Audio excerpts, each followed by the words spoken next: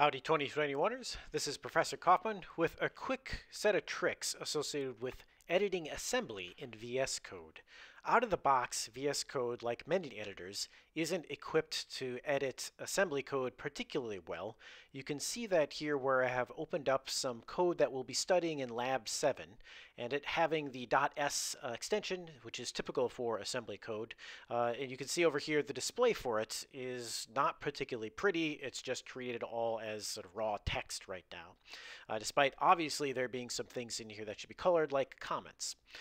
Uh, VS Code is a prize to the fact that it isn't aware of everything out of the box, and you can see a suggestion down here that you search the marketplace uh, for an extension that would enable a more salient experience uh, on assembly.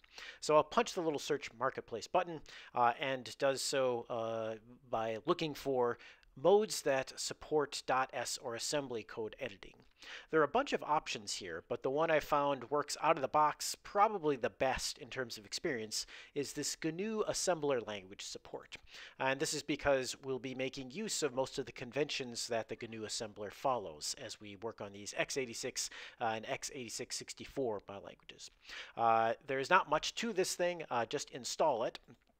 And then as I come back over here uh, to the Explorer uh, and pop open this file, you can see syntax highlighting is now enabled. The other important trick to be aware of then uh, is that there will be times you want to experiment with some assembly code, uh, but not necessarily commit to it. Uh, to that end, it is good to know how to block comment and uncomment code in any editor. This is fairly easy in VS Code.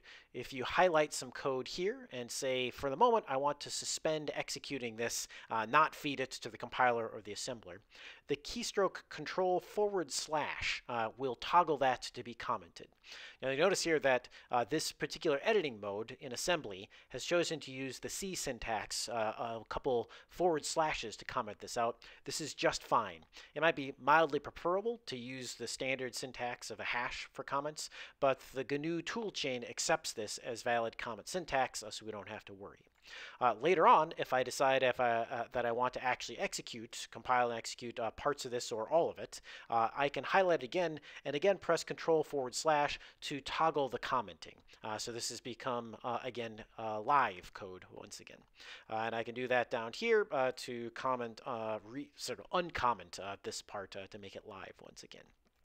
So to that end, uh, there's some nice tricks then once you have an assembly editing mode built into your editor, uh, usually as easy as installing an extension, uh, and you have some of these editing tricks like the ability to block comment and uncomment, and that carries into C code as well. Your editing experience in assembly will be much more pleasant. I look forward to seeing you in lecture, and uh, good luck uh, with your assembly coding.